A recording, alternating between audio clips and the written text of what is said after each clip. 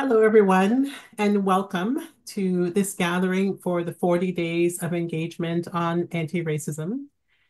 My name is Adele Halliday, and I serve as the Anti-Racism and Equity Lead staff at the General Council offices of United Church, and I coordinate this program. Tonight, we are today we are here to um, uh, engage with race talks from Gen Zs and uh, we have a panel here for a conversation uh, that we will engage in shortly. Uh, but first, just a little bit of background about the 40 days and what's happening this week. Um, this week has a particular focus on Indigenous and racialized children and youth uh, and young adults. and so in addition to this talk, there are um, some written reflections that are posted online, um, which are uh, have lots of tips and tools and uh, some insights. As well, uh, there are several books that are featured throughout the 40 Days series. Um, this is the full collection here, um, but this week in particular, we're highlighting two. Uh, one is called I'm a Changemaker, which is about teaching anti-racism with children. This is a brand new United Church resource that came out earlier this year. Um, it's uh, it offers uh, six sessions to move through reflections on scripture and um, ways of working with um, children age six to 10. It can be used in Sunday schools and many other places and spaces. It's available from the United Church bookstore. The second book that we're highlighting is How to Raise an Anti-Racist by Ibram X. Kendi, um, which is a great book on for anyone who works with um, children of raising up children um, to think about anti-racism in, in all the ways and spaces that they can. So lots of great tips and tools in this practical book. And uh, if you use the code 40 days, um, it will be valid for a discount of 15% of orders of two or more books. So United Church Bookstore has these books and more. As well, there's a weekly newsletter about the 40 days that offers perspectives. This is the most recent one here. Um, it's a great way to keep up to date. So I've mentioned books, there's um, uh, there's a social media group. Uh, there's lots of things that are happening around the 40 days. And the newsletter is a great way to stay up to date. Um, the full link is here, but if you just go to united-church.ca and search for 40 days, um, you'll be able to pull that up and find all of that. So with that, uh, we can move right into our panel conversation or panel discussion. Um, Emo Yango is one of my staff colleagues at the General Council Office, and uh, he's going to introduce the panel. He was one of the facilitators for the Indigenous and Racialized Youth Programs, uh, summer program, and uh, he will facilitate the panel and also introduce everyone who will be speaking. So thank you, Emo. Good evening to everyone. Uh, I'm Emo Yango, the growth coordinator for new emerging migrant and diasporic communities of faith. I'm happy to share, though, that since the beginning of the new strategic plan in January 2023, the United Church is engaged in 23 new church plant locations. And one of these is the continuing development of an Indigenous racialized youth interfaith community. In 2021, as part of the United Church commitment to the International Decade for People of African Descent, we started a program called the Young Black Scholars. The Young Black Scholars included six young, uh, young, pe- young people aged 17 to 26 and a mixture of those in the younger end of Gen Y and the older end of Gen Z.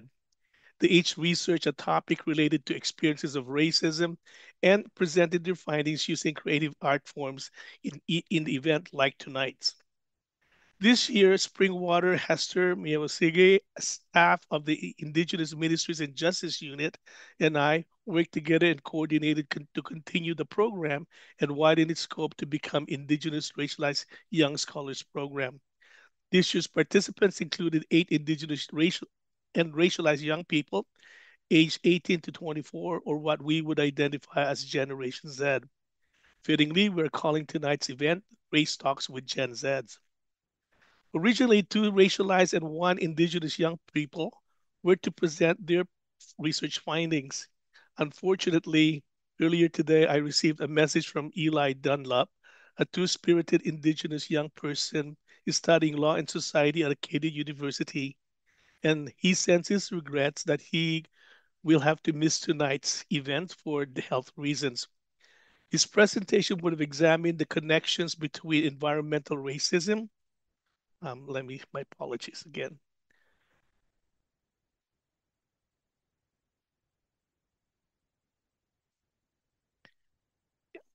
Yeah, um, Eli's presentation would have examined the connections between environmental racism, um, primarily water injustices, through a case study of Grassy Narrows, first, Grassy Narrows First Nations and Indigenous youth suicide. A summary or a video of his report will be included in the recording of this event and will be shared later in Church Acts. Now, fortunately, one of the other young scholars is available tonight to share his research findings. So tonight's presenters and their respective topics are Inzwi Munikwa. Her topic is in epigenetics and in particular the effects of racism on the bodies of Black and African people stemming from factors such as enslavement and colonization.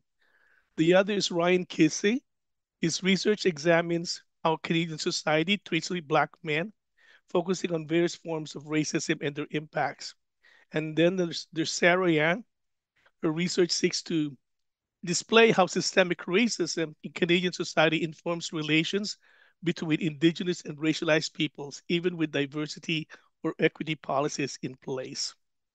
So, without further ado, let me uh, introduce you and let's begin the young scholars presentation. The first presenter is Inzwi Munikwa. Inzwi is in her fourth year of studies at McMaster University, focusing on becoming a lawyer. Inzwi was born in Zimbabwe and came to Canada when she was 10 years old. All to you, Inzwi.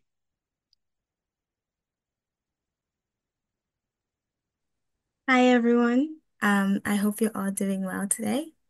Um, let me just share my screen here. All right. So as Emma mentioned, uh, my research is specifically um, in racism in our is about racism in our bodies. Um, it seeks um, to explore the physical effects of racism um, that ha that it has on the bodies of Black and African people in Canada, and why it is essential to be educated on its implications.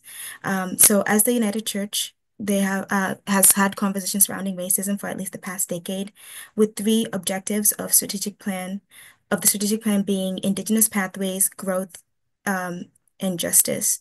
Um, so basically, we do talk a lot about what racism does to the mental um, well-being of racialized and indigenous people. However, I have found uh, no research or no talks within the church about what it does to the physical uh, body. Um, so first, I would like to talk about what is what are epigenetics. Epigenetics encom encompass the changes in one's DNA that result in genetic mutations, which influence diseases from external environmental factors. The changes within one's DNA can be inherited over generations, therefore making populations more susceptible to certain diseases over time.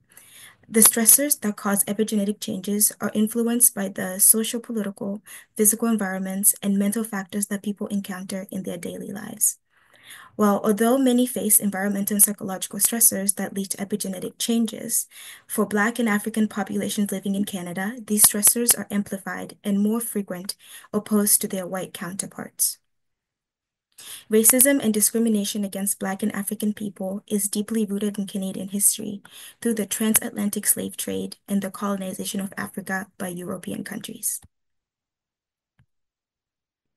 So even in today's world, uh, we still see that race and racism are still a big topic and racism is still a problem. Race itself is just a social construct that was made to divide people and classify them in stratifications within society. However, racism, the result of such a stratification system, takes away access of social and material resources, freedom, autonomy, equality, and equity from Black and African people. The effects of systemic and structural racism on health outcomes. So lacking these sources, uh, resources leads to negative health outcomes and causes epigenetic changes that not only affect the person who goes through the racist and discriminatory experiences, but it also affects the generations after them. Due to systemic and uh, structural racism, Black and African people residing in Canada still face negative health outcomes and are more susceptible to certain health complications, such as diabetes, cardiovascular problems, and shorter life expectancies, as well as mental health issues due to racism. Okay, uh, racism is a stressor that is not always anticipated by African immigrants, as many are not um, prepared for the struggles that come with being uh, racialized, a racialized individual in Canada and in the United Church of Canada. African immigrants are then pulled into a world that does not always readily accept them, causing psychological turmoil, which contributes to mental health struggles such as anxiety, depression, high levels of stress, which become catalysts to certain physical health complications and negative health outcomes.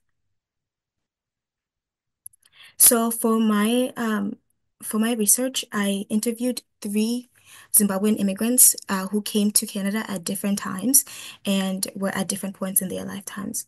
So uh, first, I interviewed Liberty, who's a 42-year-old male. Uh, he came in 2022. He came, he was supposed to come with his family, however, due to immigration complications, his family later joined him in 2023. Coming alone was a challenge for him, as he expressed that it was difficult coming from a social society in Zimbabwe to one that was more isolating and individualistic. He was also surprised that although he was fluent in English, communicating with his colleagues and those around him was difficult, as they were unable to understand him due to his accent, and at times he was unable to understand them.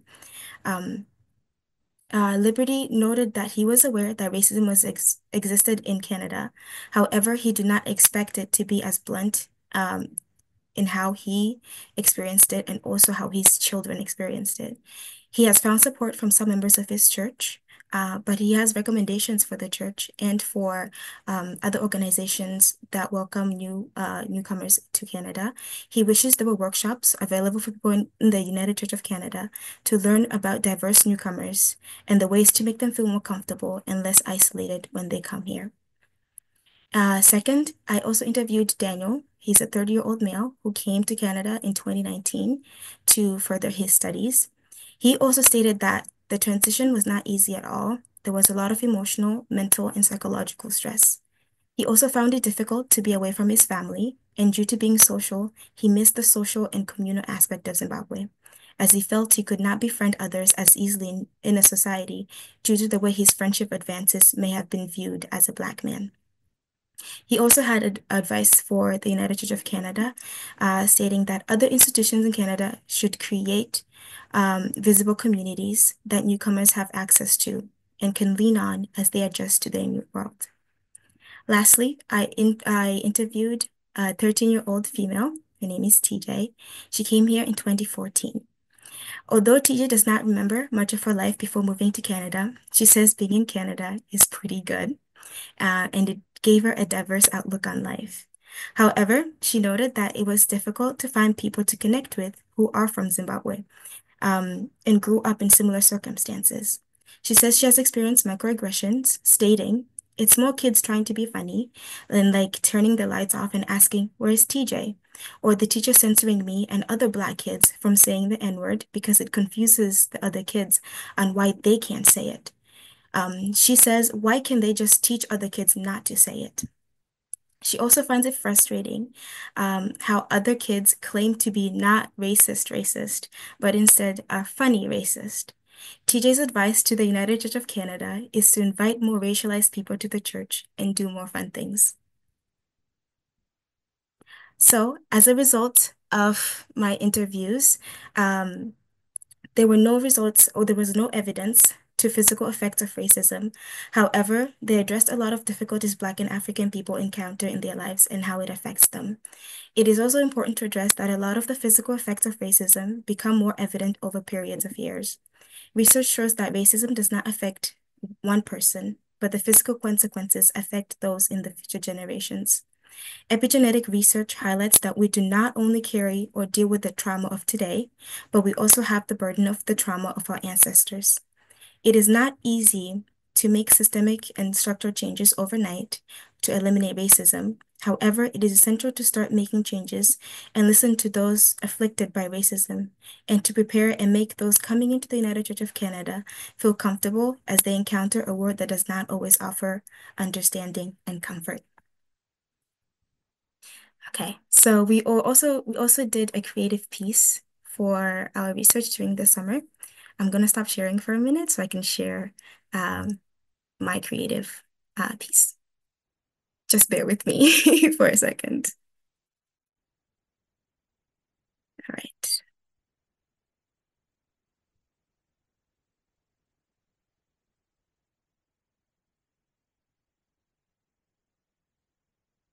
All right.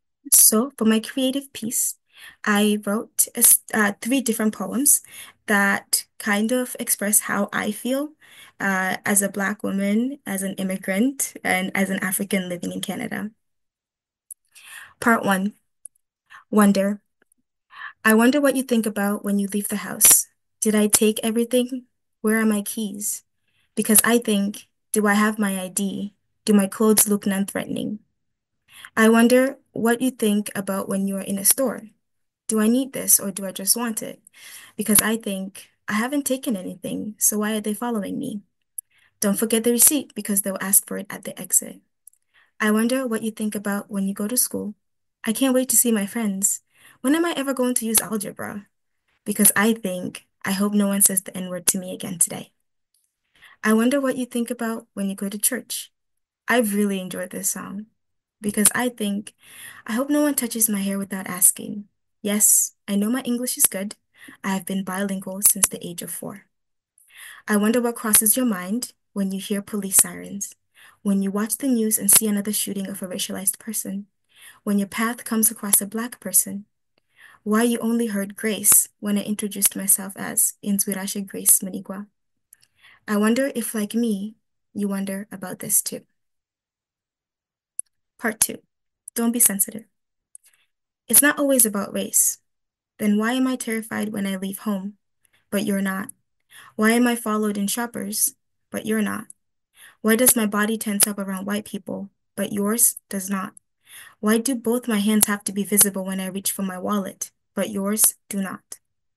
It has nothing to do with white privilege. Then why were my multiple degrees not enough, but the one you have was? Why was my English not proficient enough, but yours was. Why was I asked, Are you supposed to be here? But you were not. Why was I told to calm down when I disagreed, but you were not? Why do I need to climb a thousand steps to get far, but you do not? Why can't you let it go? It was centuries ago. Then why do my genes remember? Every panic attack, every anxious thought, every doctor's checkup is a reminder, a reminder of slavery, a reminder of colonization, a reminder of trauma, a reminder that this is not over. Why have you forgotten? Why do you not remember? Why do you not hear my cries as I yell, Black Lives Matter? Why aren't you listening? Why are you always talking? When you say equality, I say, what about equity? When you preach all are welcome, I ask, where is my seat?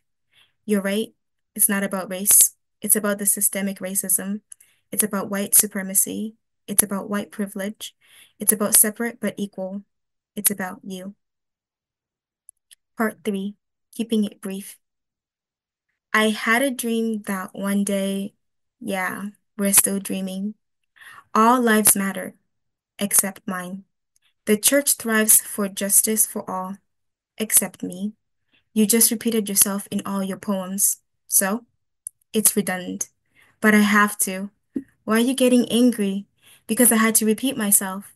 Then why did you? Because you didn't hear what I said. All you heard was complaining. Okay, thank you so much.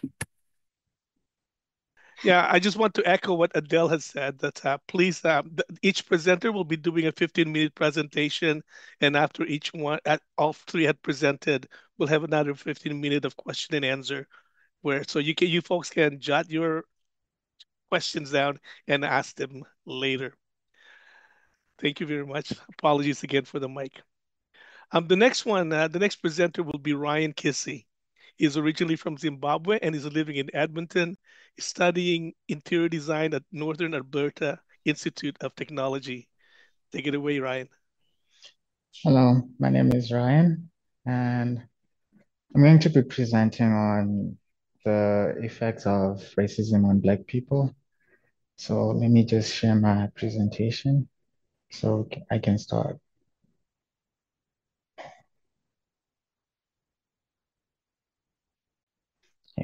So I titled it Evolving Expectations, the Impact of Racism on Society's Perceptions and Expectations of Black Men in Canada and its effects on their lives.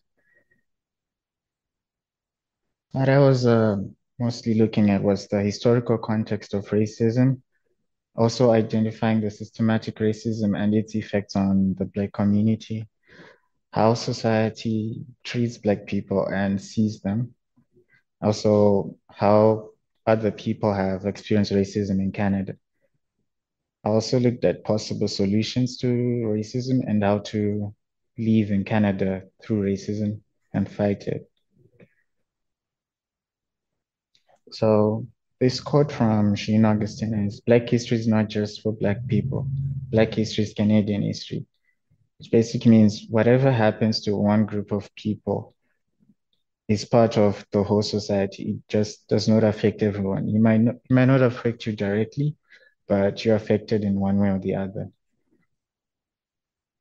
Now, the misconceptions about racism in Canada are the media portrays it like Canada is a diverse country with a lot of cultures and there's no racism, but there is racism in Canada and it's most of it is subtle racism. It's um, macroaggressions.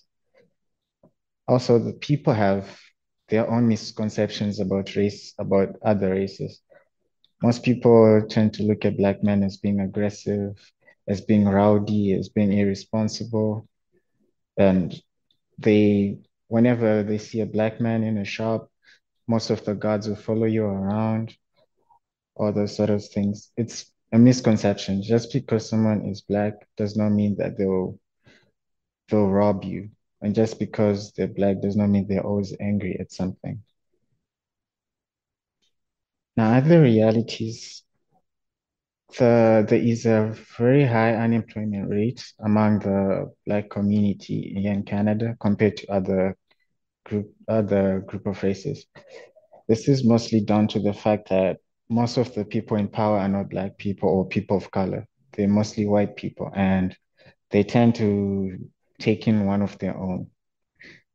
And this this also leads to other social problems because if without employment, people would tend to look for other means of supporting themselves.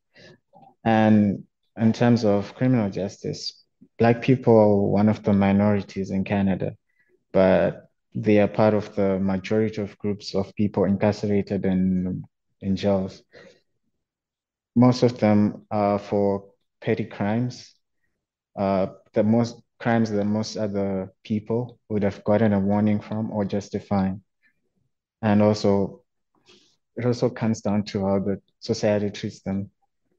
And then looking at all the impacts of racism, it leads to drug abuse, the lack of sense of belonging, isolation, and and also families are destroyed because if the, if one person if one parent is not is not part of the family cannot provide for the family and is in jail. The sense of family is broken. Now this is i came to canada to get an education and i expected to to get polite people and i was told there's no racism in canada by the media. So i was expecting to be treated equally but what I found out was very different from what I was expecting because there's such a racism. You face obstacles wherever you go, and you don't get as much support as you thought you would. Now, my personal experience was the most, the biggest challenge I faced is finding employment. And that also leads to mental health issues and feelings of marginalization. Now, in the system, you get to pay more fees than other people because you're an immigrant, and there really is lack of proper support in your academics or any other issues that you may have, which leads to a fear of you might get deported anytime.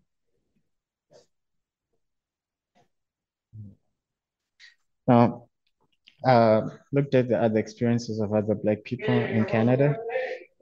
Joshua, who is a 23 year old Black man, came here when he was 15 and he faced a lot of racism when he was in high school. He was bullied because of his hair, because of how he looked. Also, like uh, how Inzwi said, the use of the N word, he was taught that you had you could not say it. And there really was no thing of the other kids cannot say. You cannot say it, so the other kids can say it. Then David is a 30 year old, and he also experienced, uh, he came here when he was in his 20s. And the thing that affected him most was finding employment using his qualifications from his country. He had to go back to school so that he could get a job. And Lee is a 54 year old male. And in his experiences, he said it has not changed much in the past 20 years. So, so it's it's something that has been a problem in all. It's a it's something that has been a problem in all age groups. So we have a lot of work to do in terms of ending racism. Now, when we're identifying the aggressor and the victim in this, we have to look at the, the system as being the aggressor and the person as being the victim. The implicit bias and the microaggression, the institutional and systematic racism, the white supremacy, that would be the aggressor. And then the victim will have to be and the victim will have to be the mental health, the independence, the family, the economic independence, and the person as a whole. Uh, this affects the black men in many ways. You, in terms of psychological and social effects, you mental health obviously is affected, and and also even though it's a bad thing, it ends up it ends up uh, providing other people with employment because they get to research on how this is affecting the the people also, the economic implications are you don't have employment, you're discriminated by society because you can't provide for yourself. There's also a big racial wealth gap, and and then you, the society loses out on a lot of potential work, workforce, labor, intellectuals, because they are not utilizing everyone. They are choosing who to who to use, who to who should work for them, who should help them out instead of taking it up on merit. They're using color. Now, if you need to now, you, if you need to understand racism, you have to look at yourself and see where you fit in. Are you a racist? Are you the racist person? Are you a victim? Are you a supporter or are you a defender? It's a question you have to ask yourself and look at how did you react to the to a situation when you saw that someone was being racist to someone or someone was being marginalized because of their color did you say anything? Did you just look on and and leave? Did you say something? Did you do anything? Or was it you who was being the racist? And there is no way we would encourage anyone to be a racist or a supporter of racism. It's not it's not conducive in this society. It's bad for anyone else to feel racism. So we have to look at ourselves and think of ourselves as defenders and as victims, if we are, and find ways to fight racism. Also, have, after, like I said before, reflecting on your behavior and looking at ways to better yourself as a person so that you you don't come out as being racist and you don't affect other people in your ways and what you say. You always have to think of the other person. How would this make them feel? Or how would this affect their lives? Would this be something that will be will have a negative impact on their life? Or would this be something that will have a positive impact on their life? We have to always do something. And if you are not, you have to start thinking differently. So the things that victims can do are not much because most of the systems or most of the solutions that are there are the ones that are causing the problems for them. They're part of the system. So you have to go to uh, groups like the United Canada Church, to the like the United Church of Canada, or to therapy, go get therapy or activists, or even look uh, go to your community for other people who stand against racism and they will stand up for you. In cases where you can, you can involve the police, but if it's the police who is being racist to you, you have to end up and seek help from professional groups. Now, this is the art piece that I did on racism, and looking at it, the word negus is which means king in the Ethiopian language, and so you can see the person is wearing his crown, his black identity, and it's being used to hold him in place to cause pain to him by the white supremacy and the chains. So all the other like BLM, Black Lives Matter, it's what comes out of it. It's a way of people trying to fight against it. It also, like all those other stuff, cause crime, drug abuse, isolation. People are drowning in debt, and there's a lot of mental health issues caused from which comes out from this. So yeah, that was my presentation, and thank you for listening to me. Thank you very much, Ryan. And again, we will come back to you later uh, after the next presentation for Q&A from the other folks, and uh, we'll give a short a summary again. And the next one and the last one, but not least, is Sarah Yang. Sarah is um, was born in Winnipeg of Korean descent, and she just started her first year at McMaster University. All to you. Thank you, Emma. Um, can you pull up the PowerPoint for me, please? Thank you. So this is my presentation. Um, uh, so basically, my research primarily focuses on um, the systemic structures and racism, as well as how that impacts um, Indigenous and racialized relationships, even though we have um, formal equality and DEI practices and policies involved. Uh, next slide, please. So I like to call this the three C's capitalism, colonialism, and culture, and how they affect all of us. Um, but then, especially how that effect is exacerbated on racialized and indigenous peoples. And so we must ask ourselves who are being left behind.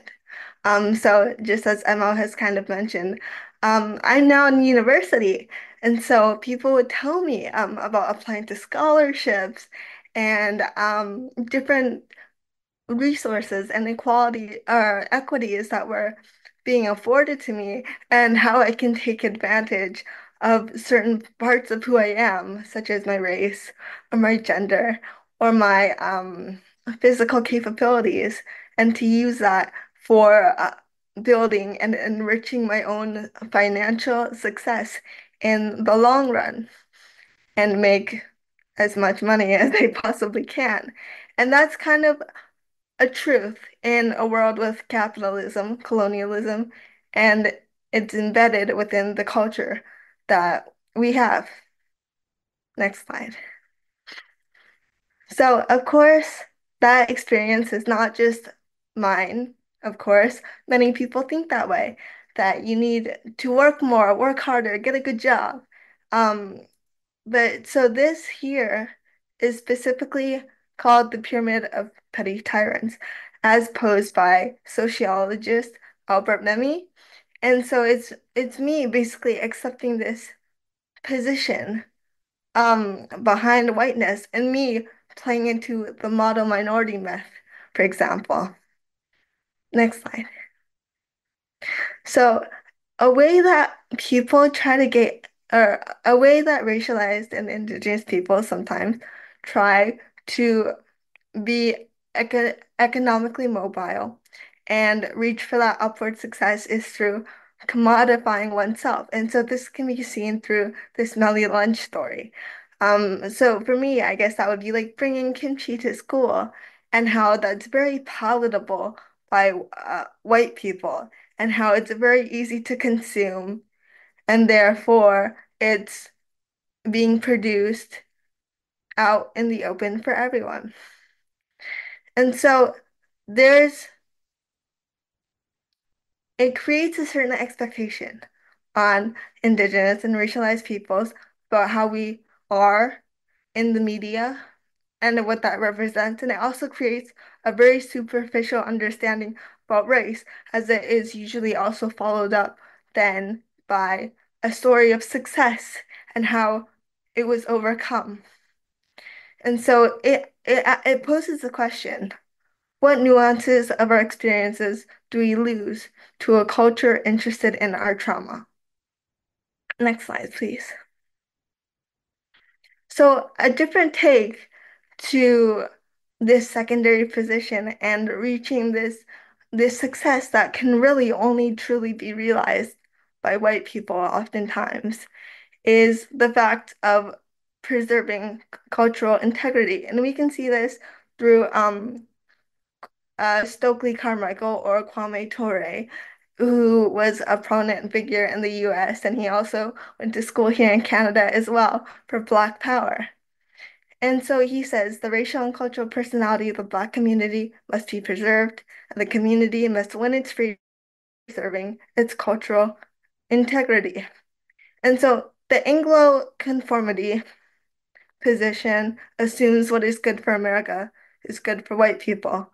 But as he says, he rejects this notion, which is completely different to maybe the ways that I, as an Asian person, have kind of aligned with complicity and being complicit to white supremacy and the social hierarchy that follows. Next slide, please. So now, because especially as an Asian person and other racialized immigrants, um, compared to indigenous people, th there comes this achievement gap. As because now, because um, indigenous people are so entrenched in that colonial legacy in which they were forced to assimilate into the culture that um, was not theirs by force, then there's this achievement gap where we have racialized people competing with each other for this secondary position and to gain that financial and economic wealth where indigenous people are left outside of the conversation and the discussion. And so as such, racialized peoples may find that may um gain this these stereotypes for indigenous people, such as being lazy or alcoholics, right? Those are reinforced by this structure that has been informed by colonialism, culture, and again, the American or Canadian dream. Next slide. So it's quite obvious that the system is inherently racist. This is built within to the structures and embeds itself into the culture and therefore affects our biases as racialized people and indigenous people and white people and other people that we have in our worldwide community. So what is formal equality? What are these policies, these DEI policies? What is multiculturalism? Just as Ryan said, he thought it'd be good. Canada would be a good place to come to with no racism because there's so many different people around. How could there be racism? And so it really, you have to ask yourself, what kind of position do I have where I am, and how does that affect the others in my community? Next slide, please. So this isn't just found in Canada and the US, of course, but because of globalization, it's been the ideology of capitalism and not just the ideology, of course, but the physical movement of capitalism, culture, and colonialism has spread and it's embedded into the history again of our, our books and our world. And so there's we need to see how even just our consumption practices and how us living here in Canada might affect racialized and other people um, around the world. Um, next slide, please. So now we can see it like, how is this important for the United Church? And so something interesting that's been happening with intersectionality, which is essentially the essence of my presentation, is that it's often being depoliticized as is as it's been taken out of its social justice framework. And so it it poses this big question of how should we talk about racism as well as anti-racism? Because anti-racism is not just being opposed to racism. There's more factors and more issues that culminate within racialized and in indigenous relationships that will make anti-racism a more nuanced objective. Next slide, please. And so one of these things is by creating space. Space for me, use space for indigenous and racialized peoples to come together. As in the real world, in different situations, we're often pitted against each other into competition, oftentimes leaving indigenous people outside. And so now I would like to share my um, creative piece. Thank you. So it's called Her Shoes. And around the poem is a bunch of excerpts and passages from different poets such as Langston Hughes, um, Sherman Alexie, and Ocean Vuong, and kind of their experiences of having a dream and how that affects their own journeys while navigating Canada and America in different historical contexts. So, her shoes. What would you do? Step on the black girl's shoe? Cry your tears and dry your eyes on that white man's lies. No money and no meat, but a devastating hunger down the street. You'll see. As she throws down, as she throws rocks down the bend. Appa used to do that too, by the stream and grassy lands. The burning sun sizzling at his hardened hands when he labored at the factory that day. She lives in squalor, thought coarse hair and all, but you pay no mind for a dream yea tall, is you stepping on another's scuffed shoe. So here I'm trying to see, to ask, what would you do? What kind of privilege do you have? What kind of privilege will you utilize to oppress other peoples for your own gain, economically, financially? Um, and in terms of the success that is defined as most important by the culture in which we live in. So yes, that was my presentation. Thank you. Thank you, Sarah, um, for articulating the, uh, the, that we are in a uh, systemic living into systemic racism. Um, at the same time, the effects of that. Folks, we come to that point where you have it's your turn to ask questions, whether you put it in the uh, chat or you can raise hand and orally uh, ask it. But we just uh, ask you to be brief in your questions, please, so we can as we utilize the next 15 minutes.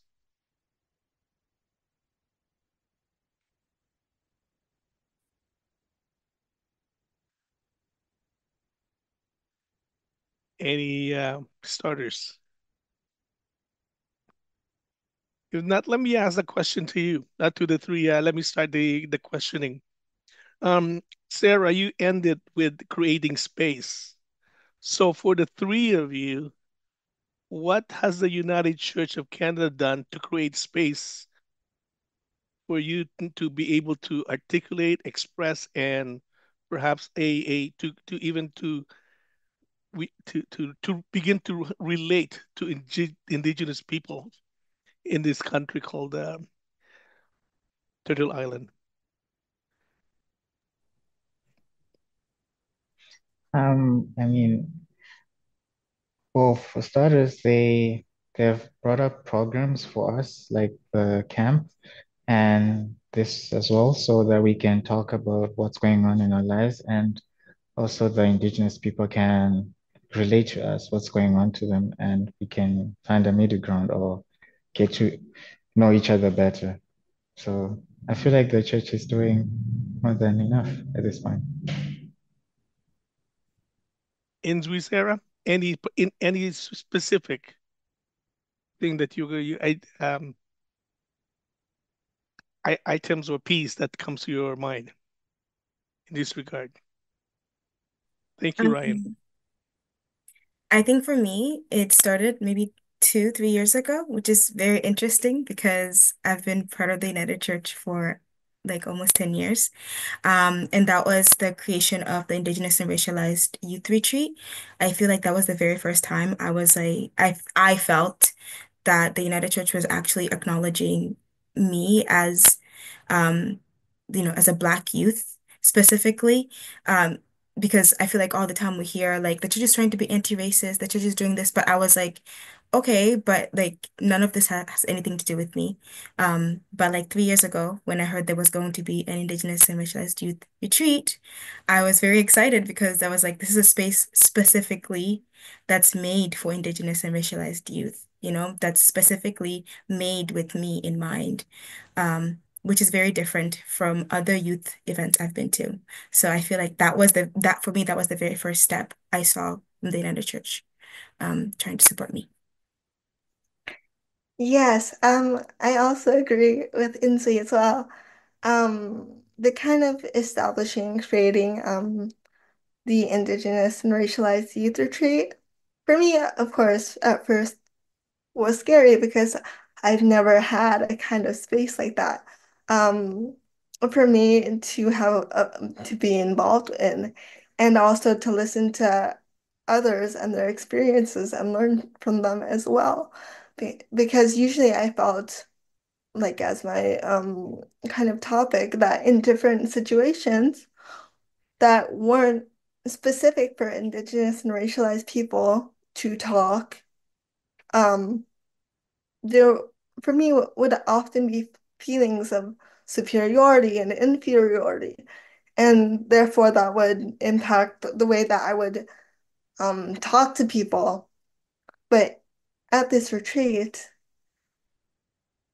there there was a a ground where I felt I could speak openly and I could also listen openly because there wasn't other confounding variables that would take me out of it and put me out to somewhere where I kept thinking, yes, I need this and this and this to make me feel like I'm the most successful, to make me feel like I will be the most successful.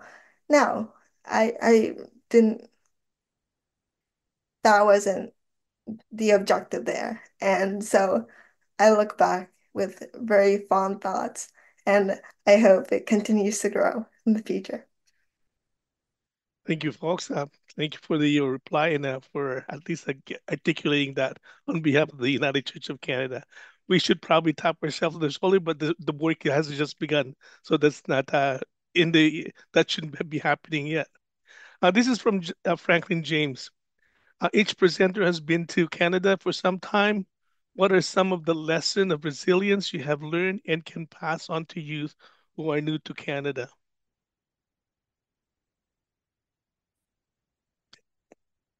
Any takers who wants to begin?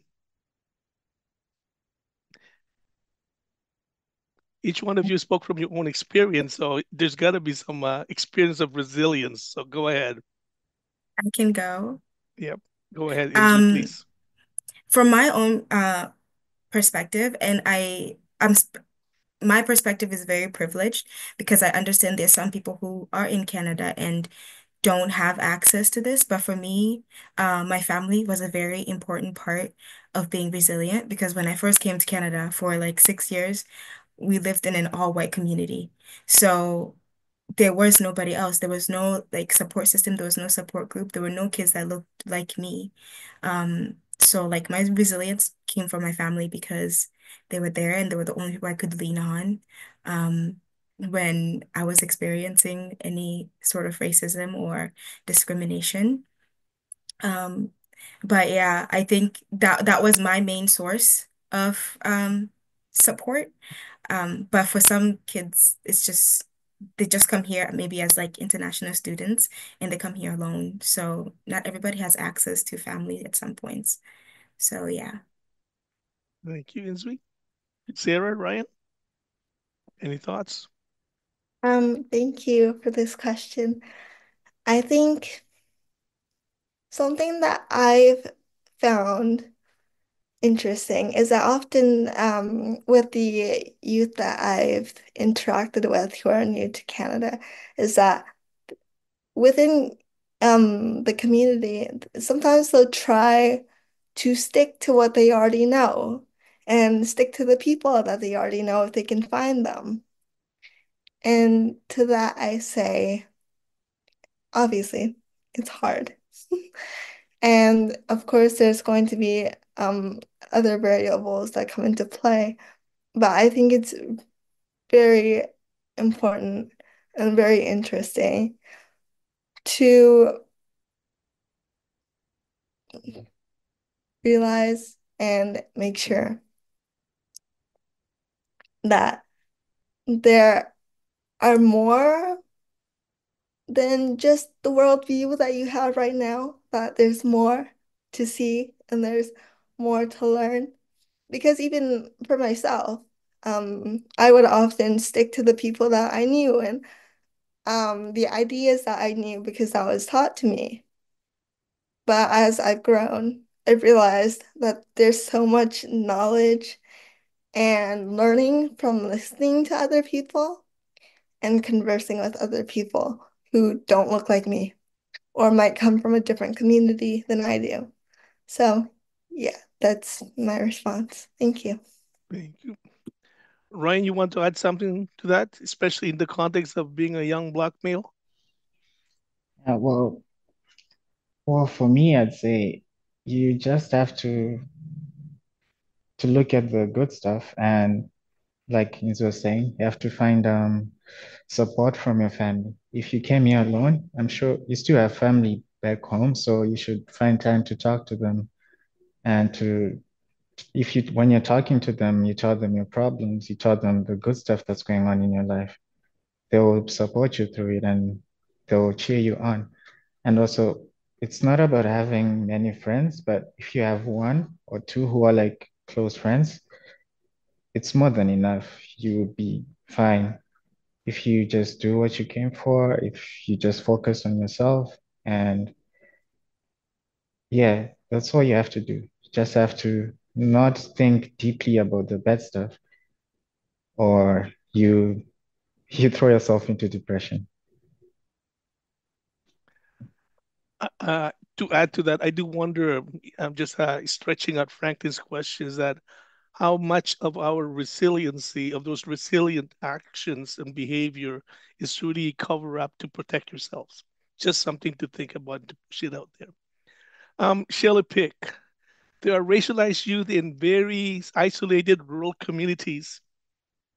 What can we in the church do to help connect or make space for them?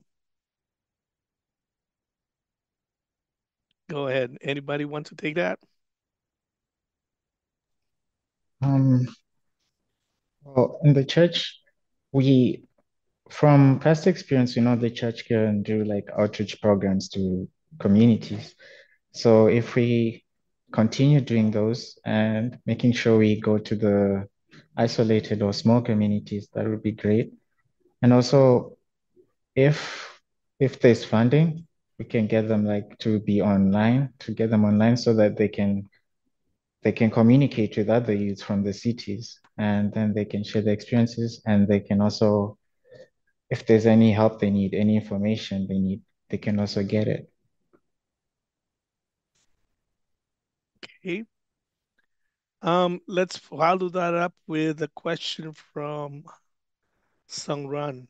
It is so painful to hear and realize that white colonizers control all the systems, making radicalized and indig- racialized and indigenous people compete for gaining only the limited parts of the of society.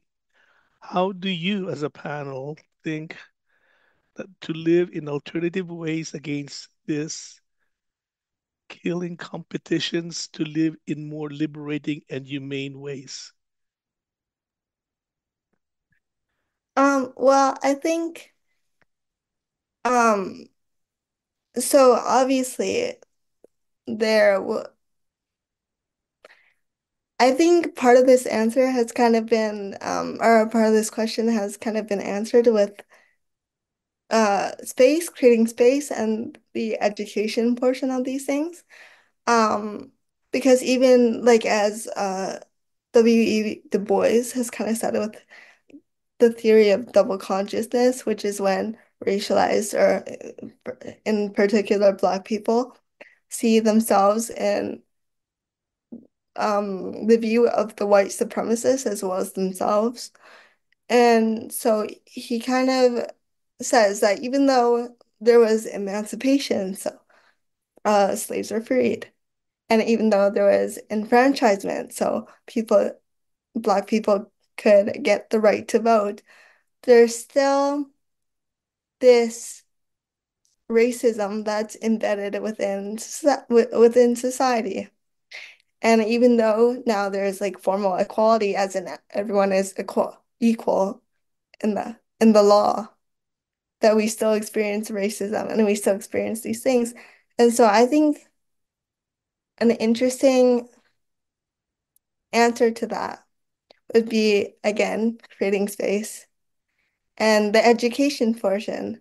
Um, just to touch on one of the questions from before about isolated rural communities, for example, because our retreat that we had, the Indigenous and Racialized Retreat, actually brought out people from isolated rural communities so that they could also have a chance to speak and listen and have community within um, the space and therefore bring like further learning and experience to people. And so I think a really big thing is just being aware and the education portion of that, being aware, educating, and having that space open to us, those resources will help dull out that competition. Thank you, Sarah. Um, you speak of a commodifying earlier, and it continues on with those whole thing of cap getting uh, wrapped into the capitalism game. And Inzwi, Ryan, any any addition to that? Yeah, I definitely agree with Sarah. I think that creating these spaces um, cuts across that competitiveness because most of the time it's like when you are among white people and like your whole life, you're literally told you have to be the best of the best just so you can get like half as much as others. And once you have the once you're in the spaces where it's just indigenous or racialized people, you're like what are we actually doing? Like, I feel like you act, you can get in the mindset of, um, like what Sarah said, I'm not trying to be the best anymore. I'm not trying to outdo anybody. We're here and we're sharing experiences that we all experience, and you start to realize that it's not a us versus them system. It's more like we have to come together and you know we have to um you know try to find understanding within each other because there's so many intersectionalities between racialized and uh, indigenous people. Um so yeah definitely creating spaces is very important. Okay. Thank you very much. There's another uh, three more questions left here and uh, we'll do that and then we'll end with that. Um from maureen okonde um talks about sarah about empowering ourselves as racialized, vulnerable people and to step into the vulnerability of crossing the boundaries that keep us separate and reach out. So the question is to all the panelists, what can the church do to help racialized people cut across those barriers between each other. In short, how can we come together rather than be separated?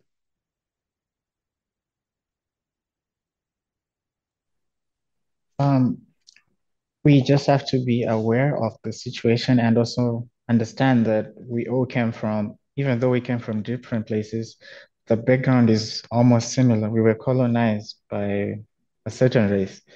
They they um they cut short our opportunities and if we can if we can um use that to come together, then that would be a good thing. Instead of looking at each other like competition, like we're different, like he's black, I'm not, they're brown, but we start looking at each other as human beings who, who historically were exploited, we can work together to come up with something. Any additions to that? Um, to kind of add to that as well, to cut these barriers um between each other, which I actually find this question to be super interesting because this is often what I've asked myself as well, because I know that I have these feelings of superiority sometimes and with a certain group, and at other times I have these feelings of inferiority, and then that supplements my need for wealth, economic gain, whatever. Uh, and so something that I think has helped me um, try to cut the barriers that I've made for myself to kind of remove them and let other people into the space and realize that I'm not the only one here who's trying to make it in the world or trying to just survive as a human and be treated as an equal as a human um, is actually through people, not just people, but especially people in um, a position of authority to me, telling me that it is okay to just be me, that I myself am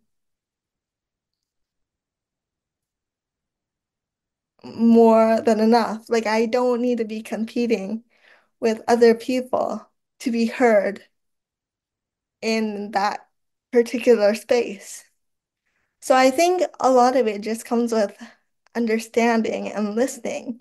And even with our presentations that we have right now, it's another opportunity to understand and to listen and to further take what you've learned and then adjust it with different people that you meet in your everyday lives, indigenous people, racialized people that you meet in everyday lives to be able to speak to them in a more personalized way that that, that counteracts these boundaries.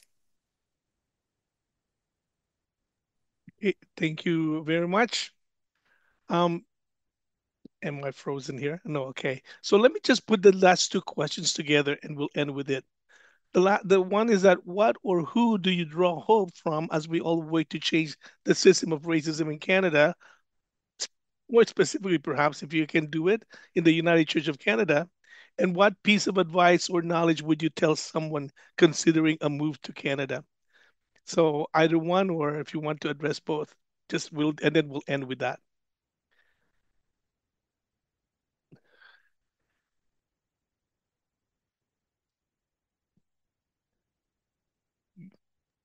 Um, yeah. Um, I think seeing myself in other people, so particularly seeing other youth who are racialized or indigenous in leadership roles or seeing them participate within the church in some capacity is very helpful to me. Um, it makes me feel hopeful that maybe one day um, that can be me, or it's very nice to see someone else succeed in that way, or, you know, be in that position where you know, that I most of the times I just see a white person take. Um, I think that's where a lot of my hope comes from. And um, it's really empowering and it's really powerful to see that. And I think, especially if we're going to create spaces for Indigenous and racialized people, um, it has to be by Indigenous and racialized people. I think that's very important because then we can see that you know it's coming from someone who can understand our experiences, who can who can understand what we need, um, and where our mental you know awareness is. And then for someone who might be coming to Canada, I would say maybe do research and like do lots of research and talk to people who are already there who might know the experience the experiences of of being in Canada of being um, a, a, a racialized person in Canada. I think that would be very helpful. Thank you, Inzwi. Mm-hmm. Sarah, Ryan, this will be your last uh, word for tonight before we end. Okay. Um, thank you, Inzwi. Uh, what you said is it's uh, inspiring. Also, um, I would draw inspiration from like my generation or these young people because I know with the way social media is working now, we uh we're actually one of the the frontliners in conveying uh, information and data to everyone else. So with all this, like the Black Lives Matter, with the issues of like the murders in Toronto and the, all those stuff, people were sharing it on their profiles. They were sharing it on their stories, making sure that everyone knows. We were seeing petitions be signed all that stuff. So the fact that the young generation is working towards making the world or Canada a better place for everyone, it's something that I'm happy for. And on someone coming to Canada, I would say people are friendly here, but not everyone is your friend. you have to know your boundaries with people and and whatever you do, just make sure you just live your life and take care of yourself. And Sarah, since you didn't migrate here, what do you say? Go ahead. um, specifically for one piece of advice that I would tell someone um considering moving to Canada, or I guess in my uh, answer would be someone who is moving to Canada, is it's not you. It's not your fault. It's you it's kind it's kind of like um what Kamala Harris said that you exist in the within the context. And so issue your issues they're not completely yours and your faults or your mistakes they're also not completely yours as there's so many structures such as systemic racism um capitalism and colonialism that uh sways our actions and how we live today. And that's kind of what Canada is. Um you know it's very neoliberal and, and capital capitalistic. And so I would say if you are feeling internalized racism, or if you do feel like you are impeding on other people, then there you go. You you have this this point, you're at this point, and now you can make a change. You can adjust your thinking to that. And so, yeah, just in essence, it's not sometimes it feels it's easy to be negative and and give yourself negative self-talk, but it's not completely you as you exist within the context things. Um, just to everyone before we go, and Adele ha might have the one more word, but uh, thank you very much again for tuning in and uh, and and, and joining into tonight's uh, event. I'd just like to read the last two thank yous from all of you who've written uh, towards uh, Sarah, Ryan, and Zurashi. Um, the the words that came out here is that thank you to this. This is just a summary for of what everybody's pretty much said. Thank you to this evening's speakers. Listening to our younger generation is very enlightening and inspiring. And the last one comes in at um, excellent panel. I appreciate the wisdom, honesty, and vulnerability of Inzwi, Ryan, and Sarah. Thanks for creating space. Folks, thank you for tuning in and, and, and, and, and encouraging our young, our young people. Blessings to everybody. Thank you. Adele, off to you. Thank you. Yes, blessings to everyone. Thank you again to Inzwi, Ryan, and Sarah for being here and sharing your honest perspectives. And thank you to Emo for facilitating the conversation. Um, to everyone who's here, uh, there's a feedback survey that the link is in the chat. If you're able to pull that out, it will just take two minutes uh, to share your thoughts and perspectives. Um, and the recording for this gathering will be available within the next couple of days. So if there's other people you think would benefit from hearing these powerful stories, uh, please feel free to share that. So thank you all for being here and continued blessings to you all. And thanks uh, as well to Brian, who's doing quiet tech in the background. So thank you everyone and blessings on your day.